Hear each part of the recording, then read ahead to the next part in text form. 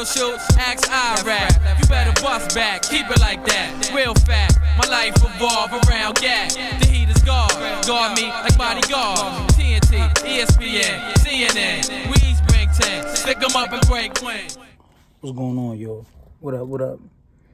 Um, I just want to make this very quick, brief video on B Simone.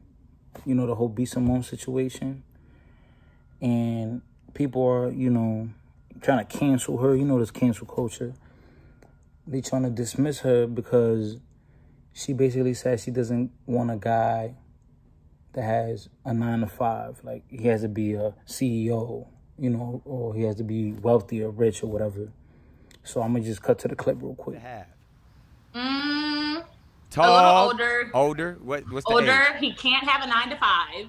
Wh- What? Why not? you don't want him to have an honest job? I mean, he could be a, a hustling entrepreneur. So you I'm want him I'm to be a? he- You want CEO status? Yes. Okay. He can't. He can't. So like, he can't He can't like, clock in and clock out. No. Damn, be some entrepreneurs should date entrepreneurs.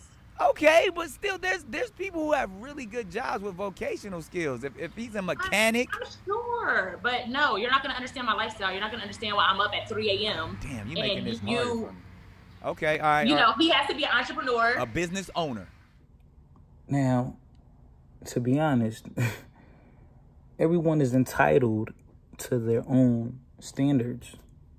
I mean, and especially if you're a woman who makes a decent amount of money, you know that's the hypergamy thing. It's the whole hypergamy um idea, and that's naturally that's how it is. That's how it works. And it's you know in this world, all all over the world, every country, just it works like that. Um,